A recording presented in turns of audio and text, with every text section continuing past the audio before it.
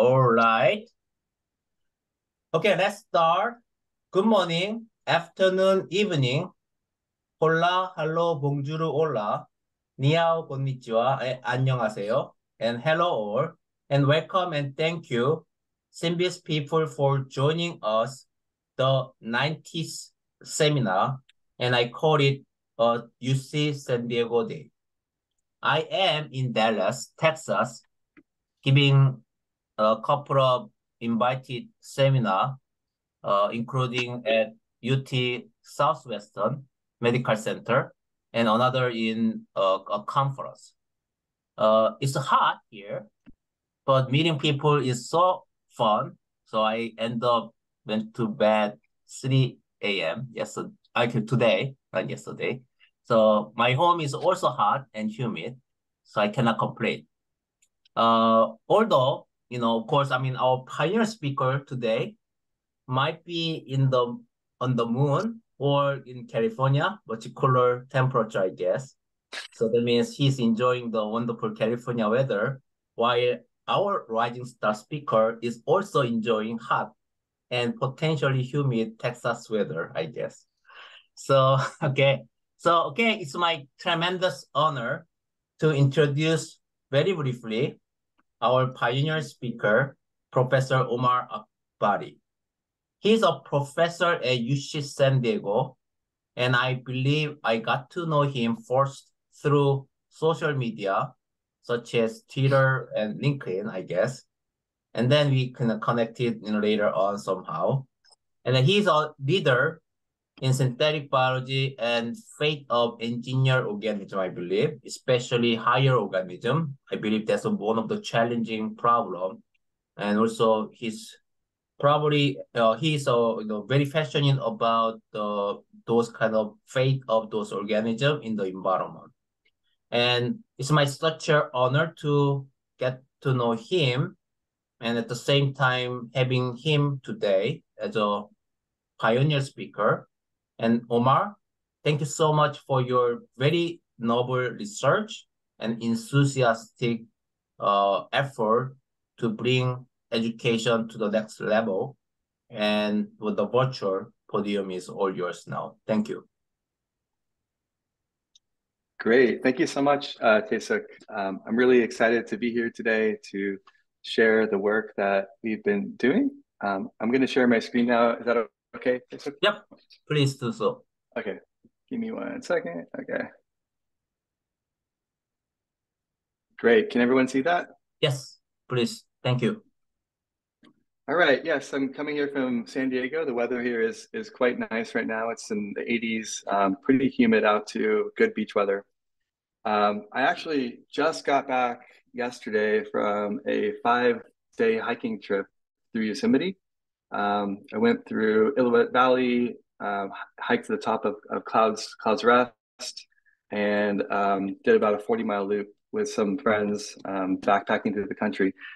And one of the one of the things that um, stood out the most to me actually during this aside from the beauty of yosemite which is incredible and i recommend everyone to go right now because the waterfalls are amazing the the snow melt this year has been incredible. It's the biggest waterfalls I've ever seen in Yosemite. Aside from that, um, every hiker I ran into would not stop complaining about the mosquitoes. And I had to carry with me a head net. I had to I had to wear um, you know very thick clothing to prevent them from biting me. I sprayed everything with DEET. Um, I wear gaiters on my ankles so they wouldn't get to my ankles. And you know, even though it was really hot out, I had to do that to protect myself from mosquito bites. But I will say that even though I did all of that and I'm, I'm pretty much an expert in mosquitoes, I have like at least 50 to 60 bites all over my body. It's incredible. I mean, these things are the worst pests ever.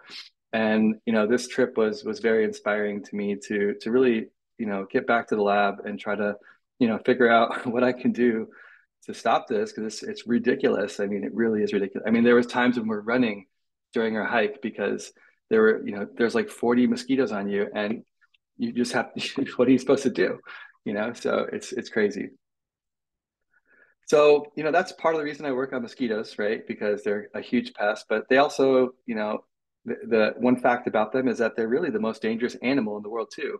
They kill more people than any other animal. Um, the closest thing is humans next because we, we love going to war. And the reason they're so deadly is because they transmit, you know, tons of pathogens. Um, we have malaria, dengue fever, West Nile, Zika virus, yellow fever. It's estimated that half of the world is at risk presently of being infected by one of these pathogens. We just had malaria cases in Florida here. We had dengue in Florida last week. Um, you know, uh, all over the world, there's these problems. And in Africa, with malaria alone, we have about a thousand uh, cases a day and um, a thousand deaths a day. I'm sorry, and and most of those are children under the age of five, and that equates to a child dying every two minutes, which that's that's happening today, which is unacceptable in my opinion. So when I started my lab back in 2015, it, it was it was a really exciting time, right? You know, because CRISPR was was really uh, ramping up, and everyone was talking about it. And um, in addition to that, we had it was also quite quite scary in that on on the news um, we had you know Zika virus, and so um, our lab was working on trying to develop you know mosquitoes that could be resistant to Zika virus, and that was that was a lot of fun. You know, we were able to do that. Um, but then more recently, we had you know this pandemic, which is you know actually one of my friends just just uh, recovered last week from it, so it's still here. COVID. Um, fortunately, COVID wasn't transmissible by mosquito, uh, but what if it were, right? It was airborne. Um, we all had to wear masks, but what if it was also mosquito borne, right? What if you were hiking through Yosemite and COVID was mosquito borne, right? How would you protect yourself? I couldn't even protect myself uh, yesterday. So uh, we got, we really dodged a huge bullet here. Uh, but we really have to think though, you know, the last pandemic, which was Zika virus, um, was mosquito borne, right? COVID wasn't, but what about the next one? How do we prepare ourselves for that? Well, I mean, these are our, really our tools that we have, which which are okay. We can use repellents, bed nets, lures, and traps. You know, repellents these things these things work, but they're not great. Uh, we can modify the environment. That's not really practical. We can use insecticides and larvicides. The problem is mosquitoes are evolving resistance to those. Pathogen removal drugs like artemisinin for malaria, these work, but they're also there's also resistance being developed for those. And then there's new genetic biocontrol technologies. And there's a few companies that are pioneering these, like Oxitec, also Verily, um, World Mosquito Program, and, and others. And, you know, the, the point I want to make here is that, you know, we have a lot of ways to control mosquitoes. There really isn't a silver bullet, but we really have to invest in, in new technologies. And so what our what our lab is was working on is is really three big pillars. Um, the first pillar, which which is initially funded by DARPA uh, through Safe Genes, where, was really to try to uh, use principles of synthetic biology to engineer mosquitoes that can not be unable to transmit pathogens like Zika virus or dengue virus or malaria. In addition to that, um, try to engineer mosquitoes in such a way that they can control themselves. So can you can you design a mosquito that you could release that could then you know, made out with the wild population and result in population suppression and potentially eradication. So instead of using um, harmful chemicals into the environment like insecticides, instead we use the mosquito to control itself. And to do that, you have to, you know, engineer the genetics of the mosquito um, using principles of synthetic biology, and we know how to do this. And so we have developed a number of different genetic biocontrol technologies for mosquitoes and we're working to transition those into the environment. Um, a second a second aim, which was also funded by DARPA, this is a program which is called Revector. Um, and this is a collaboration with Chris Boyd at MIT and Michael Fischbach at Stanford. And this has been a really great collaboration with, with, with, this, with these um, experts. And the goal of this was to try to develop a long-lasting repellent so the problem with DEET is that it does work, right? But it's it wears off really quickly, and you have to keep reapplying it, and it smells bad, and it's harmful to your probably to your skin and to your clothes. It's known to burn through burn through your clothes. Um, so do we really want to be putting that on our skin? Answer is probably no. So can we develop something that um, we can apply once in a cream, and it will last two weeks, a month, a year? That's what we were trying to do. And so to do that, we we we um, basically were able to engineer skin bacteria um, that colonize our skin, like Staph epidermidis, which is the most common bacteria on our skin. We're able to engineer Staph epidermidis to express repellents, um, things that mosquitoes are repelled by, and then prove that these things can work and persist up to two weeks. And so we have a series of about four papers coming out this year um, on this topic, and we were successful in engineering these these microbiomes. And so this is going to be really interesting. This is going to open up a whole new avenue of um, insect uh, protection, protection from uh, bites, and we're looking into whether these engineered microbiome bacteria can also protect against other insects like sandflies, ticks, things like that.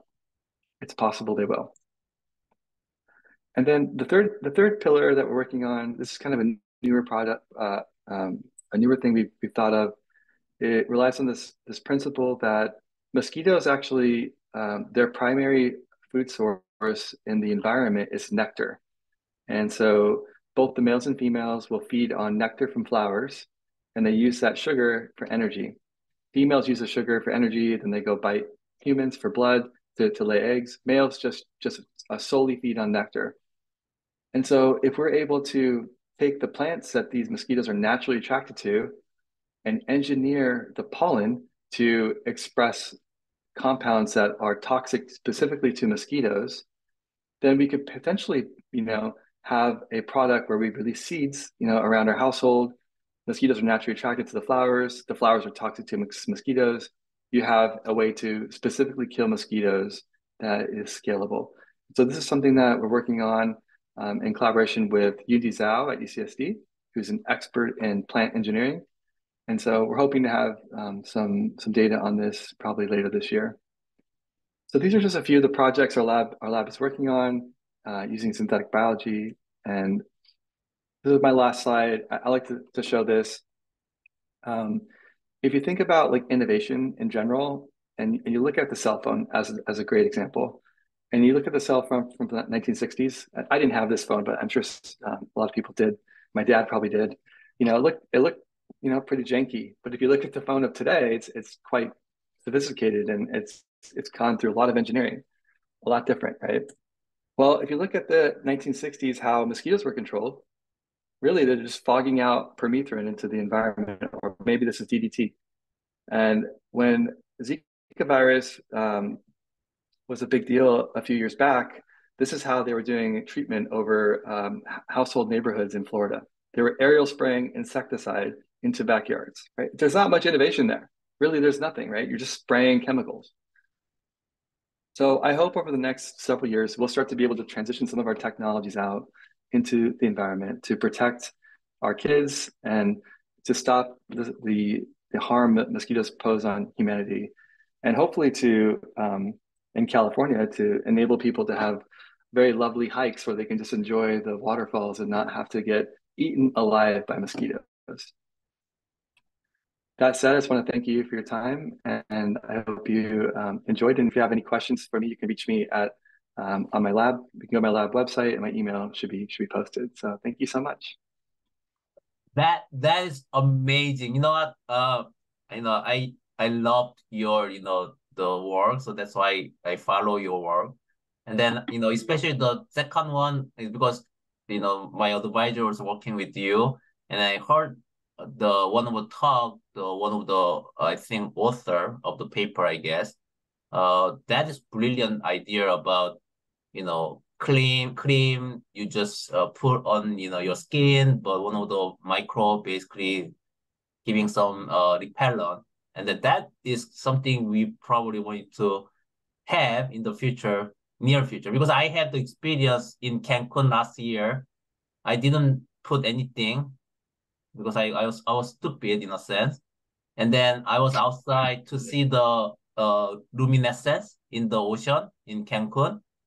And then I was bitten by probably 100 mosquito without knowing, without you know, my knowing entire you know hour because I just so fascinated by the luminescent star in the sky, and then I came came back.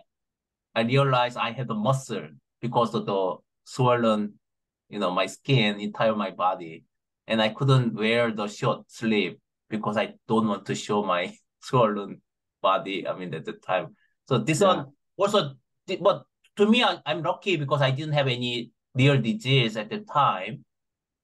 But you are completely right. I mean, there are many people die because of mosquitoes. So you are doing amazing work for the human, uh, mankind.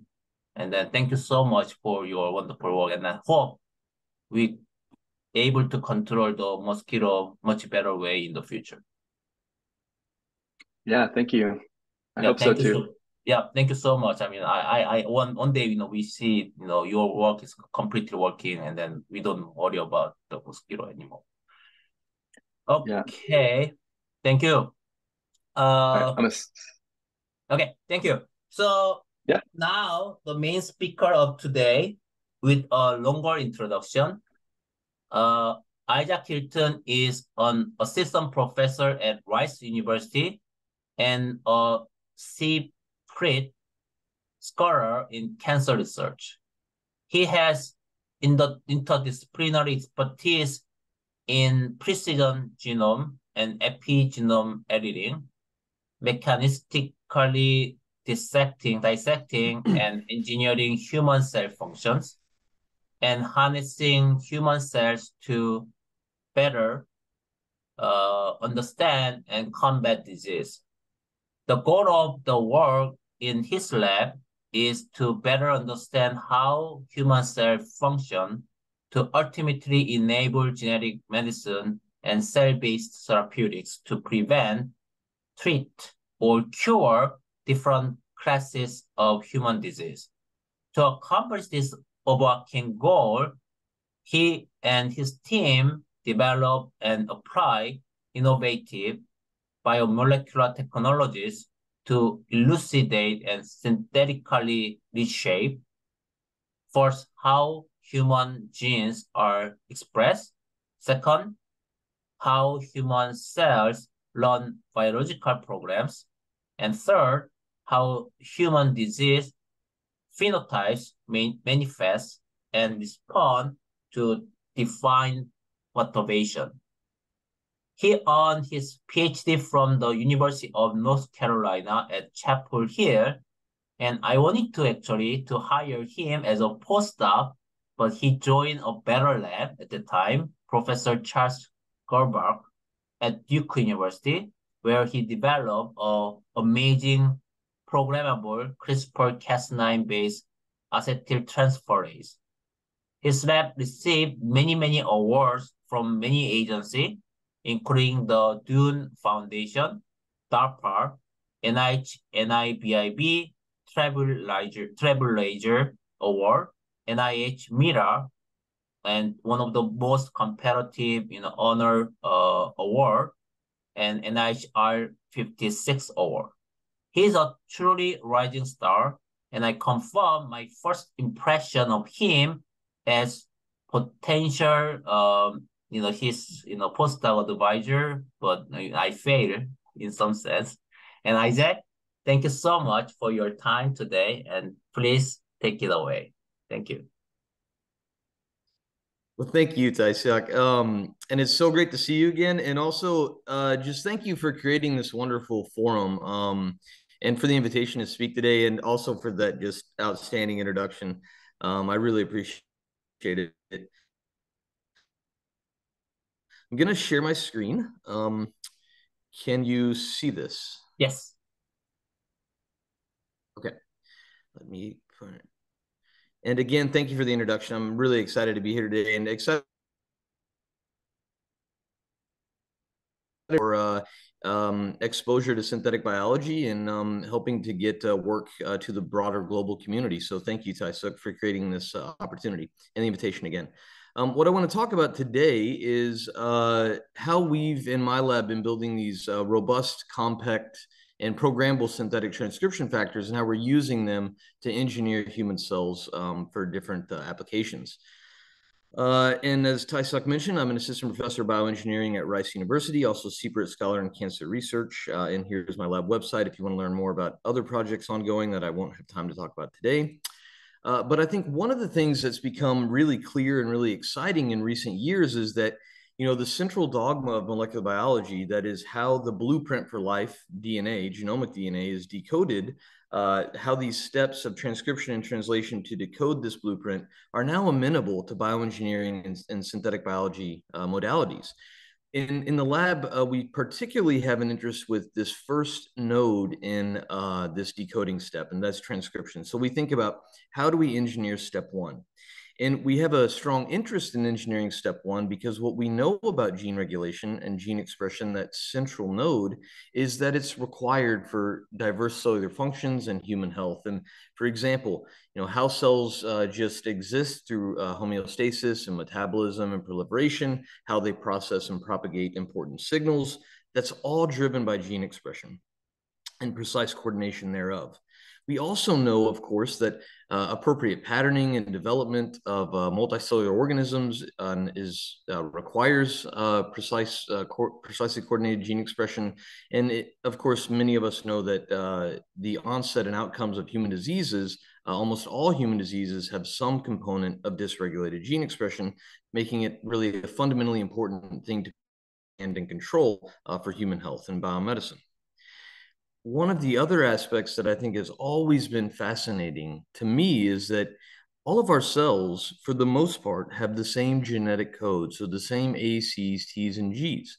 And so, how do we get this, you know, beautiful diversity of cell, cells, organs, and functions? Well, that's because of differential decoding through the first step in that process of transcription. And so transcription controls the diversity that our cells and organs uh, and, and functions that we that arise um, from one genetic code.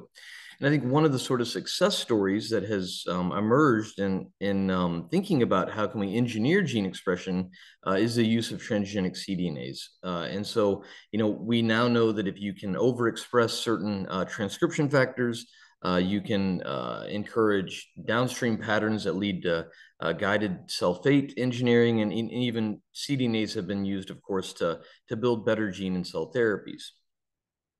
But there is a bit of a problem with the current state of the art in that, in, in particular with cDNAs, many of them are often uh, too large for effective delivery. So many making a cDNA for some genes is just too big uh, excuse me, oftentimes overexpressing a cDNA doesn't fully recapitulate the functional outputs of endogenous gene products, and there's still some mystery surrounding, you know, why this may be. You may not be getting capturing all the isoforms with a single cDNA. cDNAs often sort of blast expression levels, and that's really not how uh, cells naturally express gene products. Uh, and furthermore, at endogenous loci, we know there are chromatin changes uh, that cDNAs uh, almost certainly are not recapitulating. so there's many deficits that are uh, still shrouded in mystery with the use of cDNAs. In addition, naturally, we have hundreds of transcription factors and chromatin modifiers uh, that that simply uh, the sophistication and diversity of which is just not matched by the current state of the art. So we need more technologies, and these tools for precise and tunable control over endogenous gene expression uh, is lacking, particularly uh, in clinically useful cell types that are, you know, proximal uh, to um, human health and, and medical applications. We see this as a this is one of the fundamental premises in the lab, and that is if we can really, you know, improve the control over endogenous gene expression and meet these unmet needs and, and overcome these deficits, we can thereby create a better understanding of gene regulatory mechanisms that control uh, human cell functions and also that safeguard the balance between health and disease. And in so doing, also improve biotechnologies and biomedicines, particularly those uh, seeking to leverage uh, human gene products and, and human cells. Uh, and uh, it bears really no um, background to discuss uh, CRISPR-Cas9 uh, or CRISPR systems in terms of the nuclease activities. Uh, for more information, you can uh, check out a recent review we published just last year. Um, but I do want to uh, mention that surprisingly, uh, the Cas9 nuclease is extremely amenable to engineering in the sense that you can render the molecule um, deactivated. So nuclease null, we call this, let me get my pointer, excuse me. Um, we call this deactivated or DCAS9, or some call it dead Cas9 the dead Cas9 scaffold is still capable of precise binding to unique genomic addresses, uh, even in complex genomes, but it no longer makes the double strand break. And so we and others in the community have basically used this synthetic DNA binding platform uh, as a scaffold to which uh, to append things like activators to turn genes on or repressors to turn genes off or even epigenetic modifiers to basically control uh, the chromatin state at a particular locus of interest. And if you take a step back and think just on a, on a bigger picture, how gene expression in human cells and other mammalian cells and higher organisms unfolds, well, it's actually a convergence and a harmony of regulatory forces that operate across scales. Uh, and this goes from you know large nuclear architecture all the way down to RNA polymerase II being localized to a transcription start site to turn genes on. Uh, and I think we live at a really exciting time because now we're starting to see the emergence of many of these nuclease null CRISPR systems or DCAS9 or DCAS systems, uh, enabling control over uh, this scale of regulatory forces. And what I'll talk to you today about uh, with this background out of the way is how we built these new compact, potent, and non-toxic uh, new CRISPR-A technologies, uh, allowing us to control this interface uh, right here. And you may ask, well, why do we need more tools? We actually have around 50 synthetic transcription factors uh, that have been shown to work uh, in at endogenous human loci. Uh, and so that is uh, quite a nice spectrum of tools available, but it pales in comparison to the number of natural transcription factors that our genomes naturally encode. And the reason we have all these different transcription factors is because we need this suite of molecules to basically control those diverse functions, such as cell lineage specification uh, and um, even other sort of uh, uh, functions that many different types of cells perform. Uh, and so you see there's a, a gross discrepancy between uh, the synthetic capabilities that we have uh, on hand for biomedical research and the natural capabilities that our cells encode through evolution.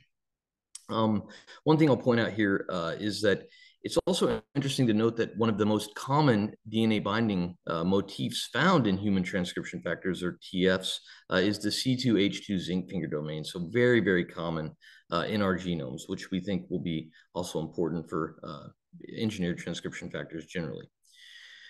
But you know, even outside of this discrepancy that spans more to more than an order of magnitude between natural and engineered gene control, there there are many other important challenges, in that many of the 50 or uh, effectors that I showed in the previous slide uh, that we do have are often not particularly stable uh, and can have unpredictable potencies in different cell lines and particularly in primary and therapeutic cells. Many of the CRISPR activation tools harbor these viral proteins or viral domains, and it's not clear whether or not those will be uh, tolerated in uh, clinical pipelines. Uh, and further, many of the engineered effectors in that list on the previous slide are actually uh, just simply too large for efficient delivery uh, and therefore in robust in vivo use. So the project I want to uh, talk about today uh, is spearheaded by a, a, super talented postdoc in the lab named Barun Mahata. Uh, and the, the goals that we had uh, were, can we build synthetic transcription factors that are sourced from human proteins uh, and that, you know, lack any viral epitopes uh, with improved potencies and stabilities in clinically important cell types that are also smaller and well tolerated in a diverse battery of different cells. So we started with these transactivation domains or TADs from mechanosensitive human transcription factors or MTFs. We're getting into the uh, alphabet soup here, um, but it's important uh, to recognize what these different uh, acronyms mean. So human transcription factors uh, are interesting in that they typically have a sort of uh, DNA binding components or scaffolding components and then transactivation domains. And these are often discrete pieces of the proteins. So what Barun did was he found all of these different um, mechanosensitive transcription factors. They're all shown here. And then he looked at where the potential um, transcriptional activation domains were within these different proteins. And so here I'm showing you, excuse me, a panel of these proteins that we interrogated.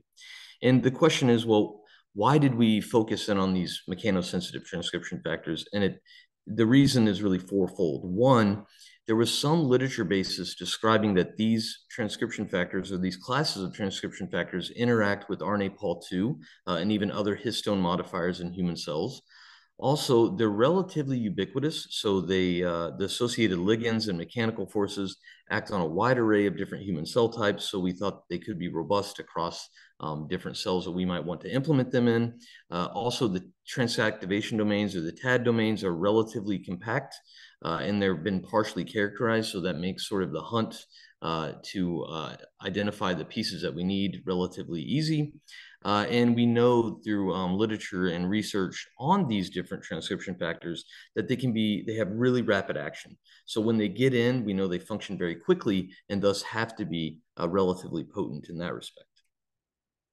So one of the first things that Barun did when he after he isolated these different TAD domains is that he took each of those different blue pieces uh, and he fused them in different architectures. There are many different ways to basically recruit using DCAS9 uh, effector domains to the human genome. Uh, some of them are direct fusion. Some of them are using what's called the SUNTAG mediated recruitment, which uh, leverages antibody-based um, recognition uh, motifs, or even RNA aptamer-based recruitment systems. And what we see is that many of these TADs the blue bars depict TADs that actually work, uh, can work across these different uh, recruitment architectures. And some of them, particularly the stat domains, do not work at all, uh, which is interesting. We wanted to figure out, well, why do the stats not work? Uh, and why do these other TADs appear to have activity? And so we leveraged this um, uh, old uh, sort of algorithm that was published years ago uh, that indicated that uh, nine amino acid stretches within um, certain proteins uh, may be responsible for sort of, or may be predictive of uh, transcription factor activity. And sure enough, to a TAD, all of the TADs that seem to work, the single TADs that seem to work in these different architectures on this previous slide here, all harbor these um, nine amino acid stretches. So these really small segments, um, and that'll become important uh, for later in the talk when I talk about, you know, shrinking these components down even further. Uh, and so, you know, this is a really interesting finding telling us that getting these little segments actually could be one of the telltale signs of a TAD having activity uh, being synthetically recruited to a human locus. But we had seen from other sort of pioneering work in the field that if you start to stitch TADs together, so if you start to take these transcriptional activation domains and put them together, Viper is really a great example of this. The, the VPR DCAS9 Viper protein that many have probably familiar with uh, is a great example of how you can get sort of synergy by putting TAD TAD domains together. And we started to see this emerge when we put the, the MRTFA TAD, which was really robust, with the stats TAD, which again, you may recall, didn't work at all. However, when you put these two TADs together, you get synergy. So even though stat TADs don't work alone, when they get next to these MRTFA TADs, they start to really display the synergy and start to robustly turn on gene activation. You know, this um, this axis is a little bit deceptive because this is like, you know, a thousand fold. When you add this stat with the MRTFA, you get a fourfold increase. So about 4,000 fold um, gene activation just by combining these two pieces together. Now we switched these up and we looked at a bunch of different architectures that um, uh, sort of tripartite TADs, uh, and we emerged with two lead designs, and we see even more synergy when you put this so-called MRTFA, or we call this M, STAT1 TAD, and this engineered NRF2 TAD, so MSN or NMS uh, tripartite domains. These emerged as the lead designs, and they appeared at this point in the study to work op most optimally when we use this RNA aptamer-based recruitment system. And that's sort of schematically depicted here. The point being, we see that there is this synergy by stitching these things together. Really, really interesting and, and non-obvious. Um, and what we think this is due to is because if you look at the literature, we know that these different TADs, in the red here, what I'm showing you is that these are verified um, interacting um, cofactors that we know to interact directly with these TADs. And in black, you see uh, other components that are thought to interact with the full-length proteins. So we have a suspicion that it's likely via these important cofactor, many of these are basically chromatin or epigenetic modifiers that these TADs can recruit. We think that this synergy is probably, or this sort of cofactor engagement is one of the things that's driving this synergistic activation of target genes. And sure enough, if we compare this to some of the tools we've developed in the past, we see that that are sort of direct epigenetic modifiers. We see indeed we're starting to change the chromatin using these multipartite transcriptional activation domains that themselves are not known to have any enzymatic activity. Nevertheless, they're changing the chromatin landscape at H3K27 acetylation and importantly H3K4 trimethylation. Both of these marks very, very indicative of transcriptional activity. Um, but you know, I I digress a little bit. Um, and importantly, we then wanted to say, well, okay, we've built this really potent um, transcriptional activation system, the so-called MSN tripartite TAD domain. Uh, how does it compare to the current state of the art? And so what you see here, we've named this the DCAS9 Recruited Enhanced Activation Module or CRISPR DREAM system. Uh, this is available. You can read about this on a preprint. Uh, was recently accepted. Um, and also the plasmids encoding these components will be available on Addgene uh, ASAP. Um, but uh, effectively what we see is this is smaller uh, than competing systems. So, and it doesn't uh, harbor the viral uh, VP64 viral transcriptional activation domain that's used in the, the SAM system. And in all cases, we see time and again that even though it's smaller, it's as good or better uh, than these other competing systems. And again, without uh, any viral components. We can also show that the system is extremely specific. So if we look across the entire transcriptome, we target this to um, the human HBG1 locus, which is um, uh, has homology to also to HBG2. We see we activate gene expression really, really well with very few off targets. Uh, this is similar to um, the off targeting we see with the SAM system. And furthermore, if we start to use this platform across different human cell types, including uh, uh, PBMCs and uh, H-shirt transformed MSCs, we uh, find that the system is robust across all these different cell types. And what I'm not showing today in the interest of time is that we also looked across a battery of different human cancer cell lines uh, and also other uh, primary human cell types uh, to show that this system is really, really robust and useful uh, in any cell type, any mammalian cell type that we tested And This includes murine cell types such as NIH3, NIH3T3, which are really important uh, for disease modeling applications, as well as industrial grade CHO K1 cells. So a really useful platform that's both specific potent, highly predictable, and going to work in any cell type that you might have interest uh, in which to use it.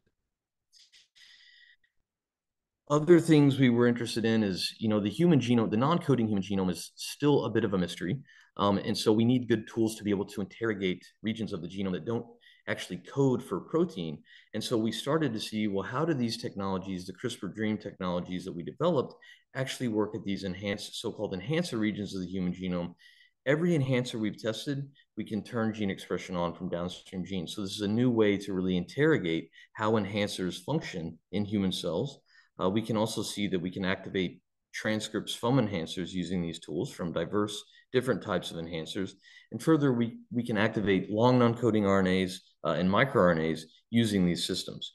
So basically, any sort of class of human so-called regulatory element, uh, we can activate a transcription from using this new platform. So we're really excited for other folks to use this um, capability to uh, understand and interrogate biological questions of interest uh, to their teams. Uh, and what I've shown you thus far is really bulk um, uh, analyses. We got an outstanding um, suggestion from one of the reviewers to uh, who who asked, you know, well, what is going on on a per cell basis with these different technologies? And so what we did to look at this is we took the Dream system that we developed in this project, uh, and also the SAM system, uh, and as well as uh, DCAS9 uh, plus MCP fused to the Viper uh, system. Uh, and then we targeted this uh, receptor gene called CD34 uh, that's not expressed in HEK293 T cells. And then we transiently transfect these components in. Uh, we see we get differing levels of sort of GFP positivity, which is, you know, basically telling us how much of the effector or the tool is getting in. Uh, and then we can normalize this to single cells. And what we see strikingly is that when we look at cells that both are turning on, both cells that harbor the effector domain, and then the level of CD34 that those cells are actually making. So a per cell level of expression of this targeted gene, we see that the CRISPR Dream system is really outcompeting uh, these other uh, state-of-the-art systems. And so we're really excited again to see that, you know, on a per cell level, uh, we get uh, high levels of performance uh, relative to the state-of-the-art with these systems. Other interesting sort of outcomes of this work is that we, we also find that if you deliver a transient burst of synthetic transcription factor to this, in, in this case, this locus is HBG1, we get actually pretty good um, levels of durability uh, just with the transient burst of this this sort of of course synthetic transcriptional activation. And so out to about 12 days uh, we're getting uh, significant uh, maintenance of uh, gene expression and so this is one of the things that we see as a really important future opportunity for the technology for many sort of um, uh, medical applications, you would love to be able to turn a gene on and keep that gene on. And so we're starting to see that we can get some level of durable response, but we would like to increase this even further. Um, other aspects uh, to the technology is we wanted to demonstrate that it had high levels of versatility uh, and that it was compatible with really any other programmable DNA binding platform. Many in this community will know that it's not just you know strep, uh, streptococcus pyogenes cas9 that's really uh, a good synthetic dna binding platform when deactivated but there are all manner of other different crispr systems uh, I'm showing you two of the smaller natural orthologs. Uh, this is Staphylococcus aureus deactivated Cas9 and Campylobacter jejuni dCas9. So these are really small. Importantly, they also have other PAM requirements. So that opens up the ability uh, to target different parts of the genome that may be inaccessible uh, to other Cas systems like Streptococcus pyogenes or SPCas9. And what we were able to show is that indeed, when we put the DREAM system with these other Cas molecules, high levels of gene activation are achieved, uh, this is with Staphylococcus aureus dCas9. Similarly with Campylobacter jejuni, actually for CJ dCas9, we first had to build um, an aptamer-based uh, guide RNA system. And so again, we hope that the community will find utility of this. This is also on, will also be on AdGene.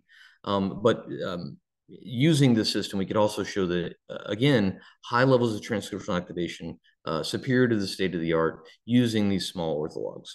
And what I'm not going to go into today is that we also showed that these domains work with zinc fingers, tails, and even type 1 CRISPR systems, which function as large complexes. So a lot of opportunity and versatility with these technologies. And if you remember back to one of the earlier slides in the talk, um, one of the most common DNA binding moieties that our cells naturally encode is the zinc fingers. And so the sense that these human proteins this human TADs can work with potentially humanized DNA binding proteins opens a whole slew of other possibilities for the future that we're also really excited about. Um, and I also alluded to these sort of minimal nine amino acid segments. Well, we wanted to get these, co these components as small as possible. And so we took inspiration from some really pioneering efforts in the field to make uh, both Cas9 smaller by deleting certain segments. Um, and also we wanted to minimize these effectors. So we took this really small engineered NRF2 TAD domain and these other really small nine amino acid segments, put them together, showed that we could build this so-called mini dream system. It's very efficacious in human cells. Uh, and further, we could shrink things down all the way into a single vector uh, to turn genes on with just delivery of one uh, plasmid in a transient transfection in these assays and still have robust activity. And as a proof of concept for these types of technologies, we actually use this uh, to target these genes in the um, uh, progesterone uh, synthesis pathway in HEK293 T cells. And what we can see is that we turn on the genes involved in this pathway, and importantly, uh, we get high levels of progesterone secreted from these cells that don't naturally make this. And so these are basically HEK293T progesterone making cell factories using uh, this technology. Of course, you know, at the outset, I was I, I posed to you one of the challenges in the field is like is how do we get really good um, synthetic uh, transcriptional control in primary human cell types so here we got these patient-derived mesenchymal stromal cell, mesenchymal stromal cells, excuse me, or MSCs. We deliver these different, this is a control. Uh, these are different synthetic transcriptional activation domains, including Viper, which was a previously uh, characterized system. Deliver these to these primary uh, human mesenchymal stromal cells. We see high levels of efficiency. So the transduction efficiency is quite high for many of these systems. NMS is just a rearrangement of MSN. EN3X9 is the hypercompact version. And what we see is that the hypercompact version actually is superior, at least in this experiment in these cell types, uh, to these other modalities, and it's expressed very, very well. So very well tolerated in these cell types, and also all of these humanized synthetic transcription factors uh, are also uh, very, very potent. We also were able to procure patient-derived uh, T cells, so uh, and test similar types of assays uh, in these primary cell types. And again, which of course many of us in the community know, these are um, very, very useful for um, uh, clinically proximal applications. Uh, and what we see in these contexts is, again, really nice levels, relatively good levels of transduction efficiency, and again, uh, decent levels of gene activation. We think this, this may be pointing at um, cell and locus uh, specific uh, effects. Um, but uh, regardless of those sort of um, uh, differences, what we find is that when we gate on relative cell viability or cell health of these primary T cells, the humanized um, multipartite synthetic transcription factors appear to lead to healthier outcomes in these cells. So the second to last aspect of these types of tools that I want to describe today is uh, using these systems for multiplex transcriptional control. Up until this point, what I've described to you is, in most uh, aspects, is targeting just a single gene at a time. But actually, our cells and our our transcription factors and our transcriptional networks are just that they're networks. Oftentimes you don't see one gene turning on in response to a stimulus. You see entire pathways or entire networks uh, being activated in response to key stimuli. And that uh, what we want to be able to do is basically uh, recapitulate that with these synthetic technologies. So we use the cas12a system which is really really useful because it can process its it, the guide RNAs or the um, the cRNAs for Cas12a systems can be processed uh, in, in, human cells, and so that allows you to really build um, effect, effectively build long arrays of guide RNAs. Uh, and what we showed is that we can use these these work really well. These modules, of course, work well in Cas12a, but importantly, we can target up to 16 different human loci simultaneously in human cells uh, using these types of systems and robustly. And these target loci are selected because, again, they represent all different classes of the human transcriptome. Uh, and this is, to our knowledge, the most genes that have ever been sort of multiplex activated uh, in human cells simultaneously uh, synthetically. Uh, we also leverage these types of systems for functional effects. So we take these uh, multiplex gRNA cocktails that have been uh, derived previously um, in this key uh, work uh, published in 2018. We take primary human uh, foreskin fibroblasts or HFF cells. Uh, we target all of these guide RNAs, uh, 15 different targets with either the NMS effector or uh, DCAS9 DP92, which is a viral-based synthetic transcription factor demonstrated, which demonstrated utility in this seminal work. Uh, and what we can see is when we transfect these guides with these synthetic transcription factors targeting these loci, as soon as eight days we, later, we start to see these morphological changes in these uh, HFF cells. Uh, and by 16 days, these get more pronounced. Uh, and, and of course, these targets are used to induce pluripotency in these cells. If we look out to day 40, we start to see that these gene products like OCT4 and SOX2, which we know are associated with pluripotency, uh, are starting to be increased. And so that's demonstrating that we're starting to see um, uh, pluripotency commitment of these or, or lineage reversion of these fibroblasts, patient-derived fibroblasts, uh, in the after treatment with these synthetic transcription factor uh, factors and guide RNAs. Uh, coincident with this, 40 days later, we start to see decreases in the endothelial specific gene expression programs, telling us that these cells are sort of erasing that lineage commitment. And of course, what we also find is that when we look at the microscopy, similarly, the markers associated with pluripotency, such as SSEA4, uh, are starting to kick on. And so we see transcriptomic changes and, of course, proteomic changes demonstrating that we're reverting these HFS to a pluripotent phenotype, uh, and also other markers confirm this. So a functional use to improve multiplexing capabilities with, again, these humanized synthetic transcription factors. The last thing I want to mention here is that the small size and potency of these components, these CRISPR Dream systems, really starts to open up new opportunities for all-in-one CRISPR-A uh, AAVs. And one of the challenges is that you know delivering some of these synthetic transcriptional um, regulators uh, in vivo uh, has been has been a big problem because of how big they are. Uh, and, and that's, of course, um, frustrated by the size uh, limitations of uh, AAV vectors. Uh, and so what we did here was we built these all-in-one architectures where we took these hypercompact humanized trans synthetic transcription factors, took a smaller variant of uh, deactivated Cas9, Staphylococcus aureus Cas9, and modified some of these elements in these AAVs, delivered these into primary mouse neurons, and actually were able to show that we could turn on gene expression uh, of this gene AGRP involved in mouse feeding behavior in these mouse neurons, uh, demonstrating that you know we now have a lot of new opportunities to use synthetic transcriptional activation in vivo, and hopefully that will uh, open up a, a, slew of new sort of capabilities that uh, can be used across the community. So if you take away uh, anything from the seminars, these four aspects. One, we've built these new compact and potent synthetic transcription factors. They're built solely using human transcription activation domains. And importantly, they're portable across all modern programmable DNA binding platforms. CRISPR, zinc fingers, tails, uh, all of these platforms can are work well with these TAD domains. They're also robust, stable, predictable across a diverse array of human cell types and other mammalian cell types. Uh, and if you have familiarity with CRISPR technologies, we, we are certain you can rap- rapidly implement these tools as well into your workflows.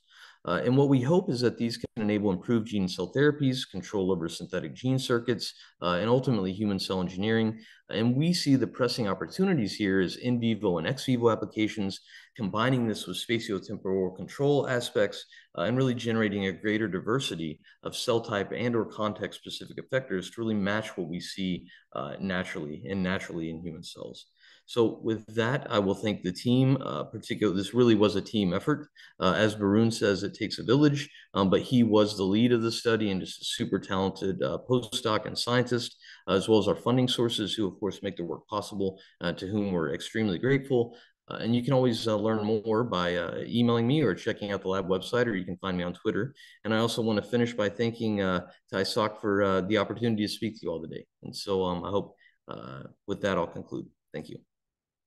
Oh my goodness, it's, it's so amazing. I now I need to say you chose the right postdoc lab and much better than my lab.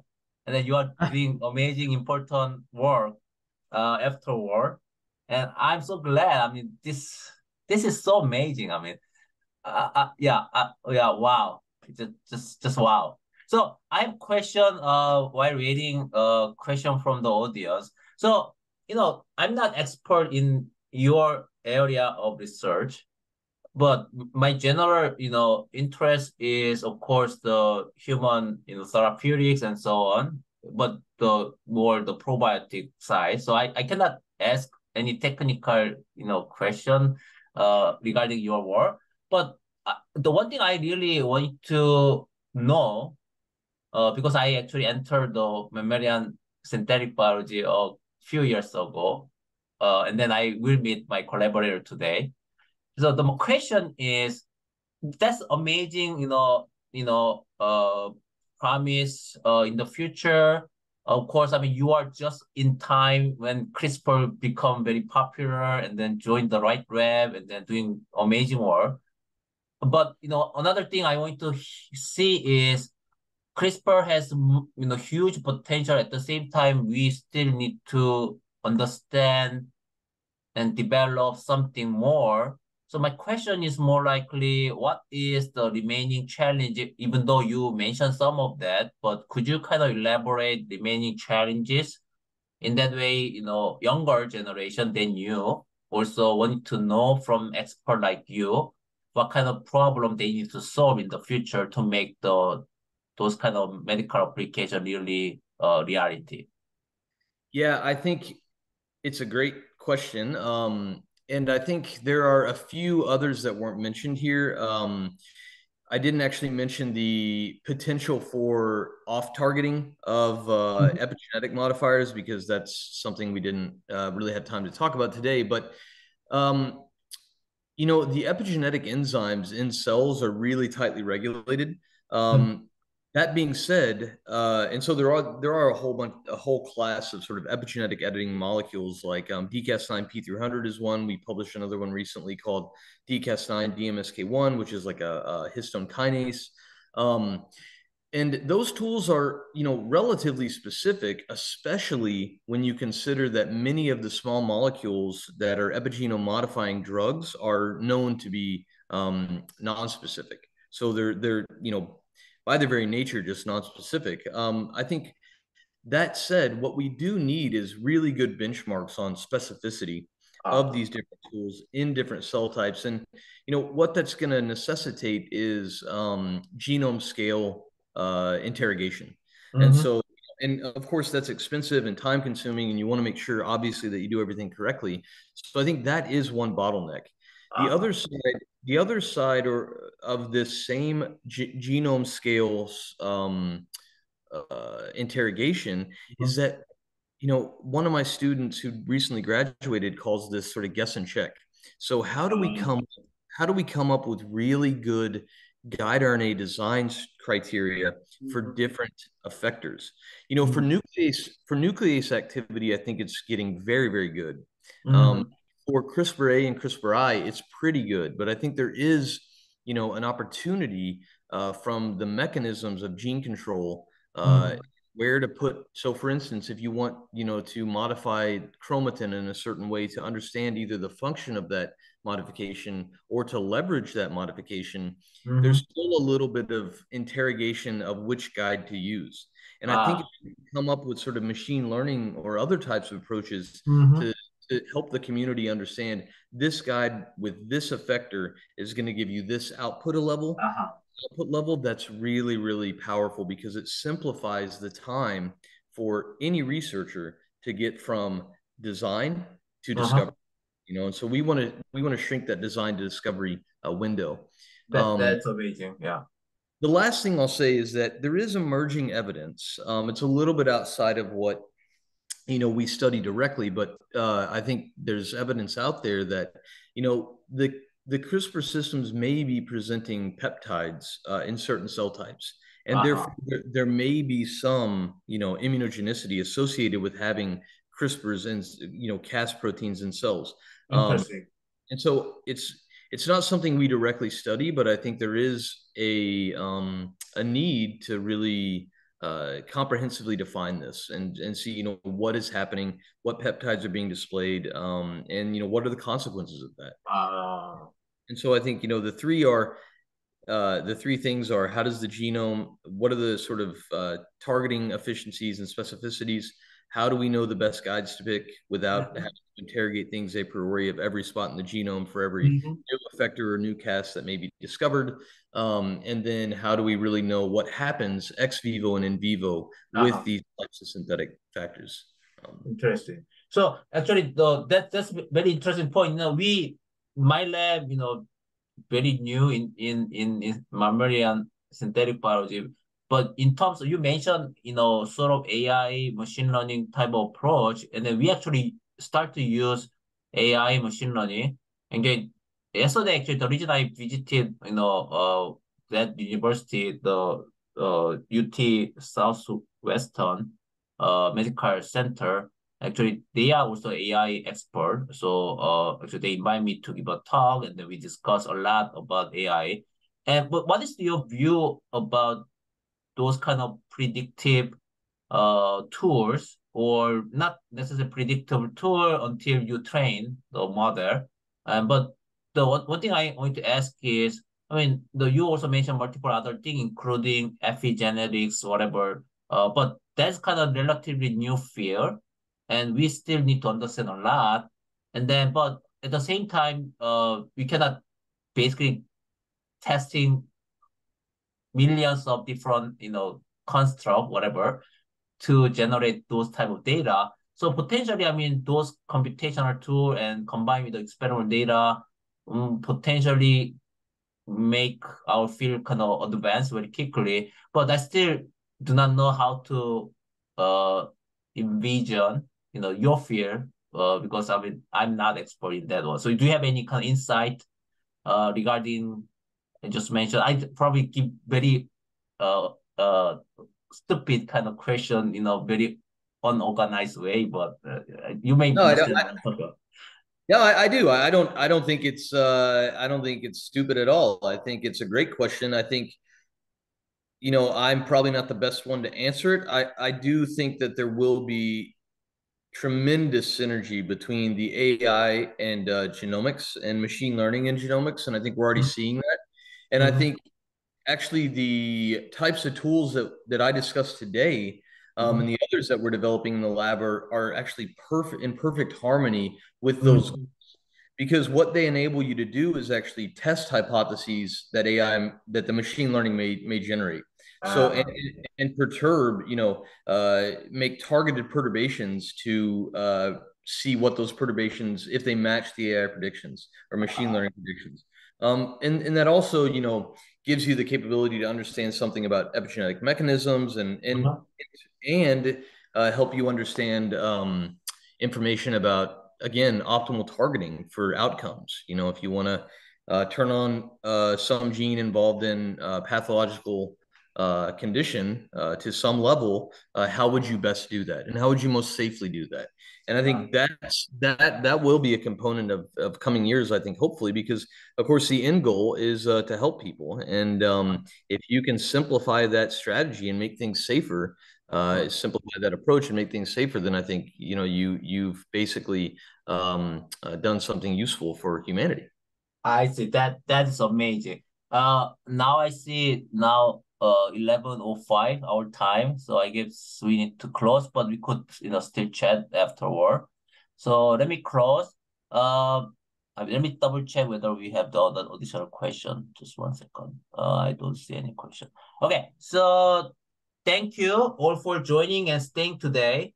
We'll meet again next week on august 10 thursday the same time the same zoom link we'll have Professor Mikhail Shapiro at Caltech and the Dr. Alexander Vlahos at Stanford University, both you know California. Uh, as usual, the follow informal chat will occur without recording. Please stay here if you are interested in uh, chatting with us. Uh, I will promote you to panelists could uh, speak and show your handsome and pretty faces. And thank you. And I'm stop recording just one second. Uh, just thank you all. Thank you, Tai